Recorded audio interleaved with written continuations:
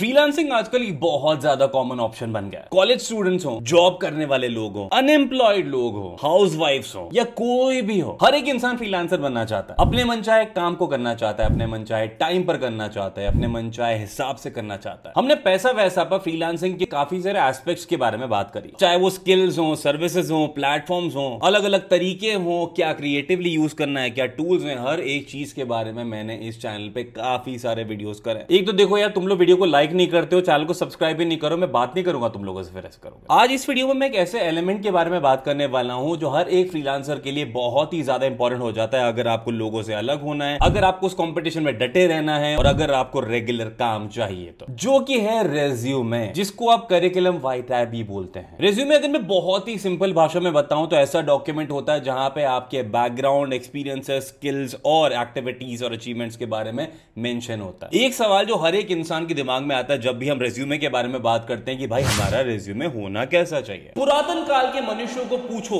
यानी हमारे पिताजी दादाजी कि संक्षिप्त में एमएस वर्ड के सबसे फीके फॉन्ट को उठाकर अपने जीवन के हर एक बेसिक चीज़ को लाइन बाय लाइन बहुत ही सुंदर तरीके से छाप दो। हो गया आपका अमेजिंग वाला रेज्यूमे तैयार। और अगर कोठी बंगले वाले से पूछोगे तो इतना रंग बेरंगा बना देंगे उसको। मानो किसी बच्चे की कलरिंग बुक है। तो चलो ये देखते हैं कि ये दोनों तरीके क्या क्या दर्शाते हैं। इनके फ़ायदे नुकसान और अल्टीमेटली सबसे इंपॉर्टेंट सवाल कि आपका रेज्यूमे कैसा होना चाहिए? एक फॉर्मल रेज्यूमे बहुत ही ज़्यादा बेसिक रेज्यूमे होता है, जिसमें ऑफकोर्स आपकी बेसिक डिटेल्स होती हैं एजुकेशन एक्सपीरियंस अचीवमेंट्स और बस एकदम प्रिसाइज एकदम टू द पॉइंट इसके कुछ एडवांटेजेस होते हैं। ये बहुत ही सिंपल और फॉर्मल होता है। इसमें कोई रिस्क नहीं होता है कि गलत इंफॉर्मेशन पहुँच जाएगी। इसके काफ़ी सारे टेम्पलेट्स आपको मिल जाते हैं, क्योंकि काफ़ी सदियों से यही फॉर्मेट चलते आ रहा है। सामने वाले के लिए समझना बहुत ही ईजी हो जाता है, क्योंकि बहुत ईजी तरीके से हर एक लीन मेंशन होती। पर इसके डिसएडवांटेजेस भी हैं। अब क्योंकि ये बहुत ही ज़्यादा कॉमन है, इसका मतलब हर एक रिक्रूटर को आप ही के जैसे रेज्यूमे हज़ारों मिलते हैं। उनके लिए आपके रेज्यूमे को थोड़ा सा डिफरेंट पाना बहुत ही ज़्यादा टफ होता है। बहुत कम चांसेस होते हैं कि आप शायद इस रेज्यूमे के ज़रिए आगे बढ़ पाएँगे। और ये रेज्यूमे किसी भी चीज़ को हाईलाइट नहीं करते हैं, इसका मतलब आपको अटेंशन ग्रैप करना है तो वो तो आप भूल ही जाओ। ये तो बात हो गई फॉर्मल रेज्यूमे की। अब बात करते हैं मॉडर्न रेज्यूमे के बारे में। ये काफ़ी ज़्यादा ग्राफिकली और एस्थेटिकली प्लीजिंग होता है। प्रेफरेबली मिनिमलिस्ट होता है। पर अगर आप चाहो तो कलर्स डिज़ाइन एलिमेंट्स को अलग अलग यूज़ करते हुए अलग अलग सेक्शन को काफ़ी डिस्टिंग्विश्ड बना सकते हैं। आप किसी भी फ्री सॉफ्टवेयर जैसे कि कैनवा या और भी किसी सॉफ्टवेयर में काफ़ी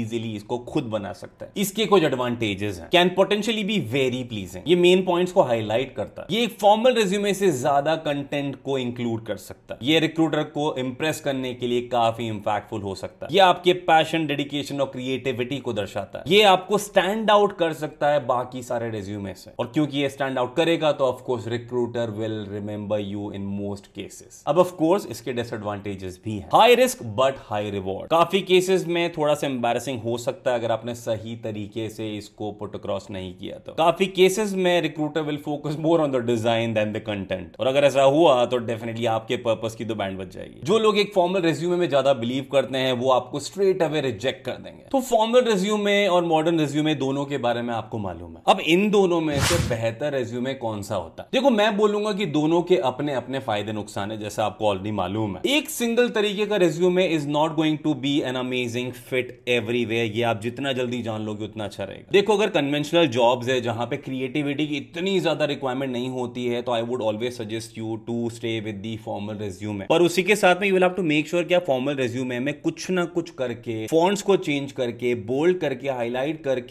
जो स्पेसिफिक चीज़ें हैं जो आप चाहते हैं कि सामने हाईलाइट हो अपने रिज्यूमे में, वो आप डेफिनेटली करें। अगर आप लोग चाहते हो रिज्यूमे के ऊपर एक डिटेल्ड वाला वीडियो जहाँ पे मैं आपको बहुत सारी ऐसी टिप्स दूँगा जो आपके रिज्यूमे को डेफिनेटली स्टैंड आउट करेगी, चाहे वो मॉडर्न रिज्यूमे हो या फॉर्मल रिज्यूमे हो let me know in the comment section below या फिर इस वीडियो पे 1000 लाइक्स हो जाएँगे आई डू दैट वीडियो वहीं पे अगर आपका जॉब है जहाँ पे क्रिएटिविटी की ज़्यादा रिक्वायरमेंट है एज अ फ्रीलांसर आप काम कर रहे हैं या फिर जो कंपनी है वो काफ़ी कूल सा वर्क एनवायरमेंट रखती है तो वहाँ पे आप डेफिनेटली ऐसी चीज़ें ट्राई कर सकते हैं। टू स्टैंड आउट तो इस वीडियो में सिर्फ़ इतना ही शेयर करना चाहता था। अगर आप लोगों ने अभी तक ये वाला वीडियो नहीं देखा you should definitely go and watch it क्योंकि वहाँ से आपको काफ़ी सारी ऐसी इन्फॉर्मेशन मिलेगी जो आपके लिए हेल्पफुल होगी। अगर चैनल को सब्सक्राइब नहीं करा तो जाने के पहले कर लेना वीडियो को लाइक भी कर देना। बाकी मैं मिलूँगा आपको नेक्स्ट वीडियो तब तक के लिए टेक केयर कीप